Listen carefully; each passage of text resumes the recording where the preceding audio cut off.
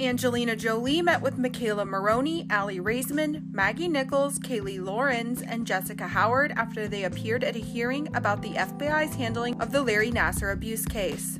The actress posted a photo on Instagram on Thursday where she poses with the ladies, saying she was honored to meet them in the caption. I was honored to meet with some of the brave U.S. gymnasts who appeared before the Senate Judiciary Committee yesterday. I'm in awe of their courage and commitment to preventing future failures to investigate abuse, she shared.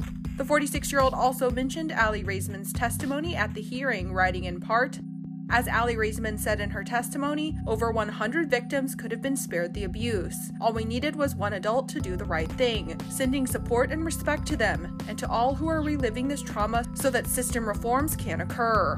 Also at the testimony but not pictured with Jolie was Simone Biles who delivered powerful and emotional testimony, saying she feels like United States Gymnastics and the United States Olympic and Paralympic Committee failed her and the other survivors. I don't want another young gymnast, Olympic athlete, or any individual to experience the horror that I and hundreds of others have endured before, during, and continuing to this day in the wake of the Larry Nassar abuse. To be clear, sorry. Take your time. To be clear, I blame Larry Nassar, and I also blame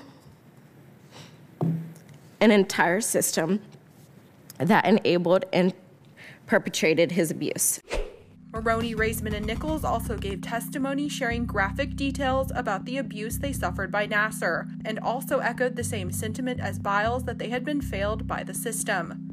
In 2017, Larry Nassar pleaded guilty to charges of criminal sexual conduct, pleading guilty to abusing 10 of the more than 265 women and girls that have accused him of sexual abuse.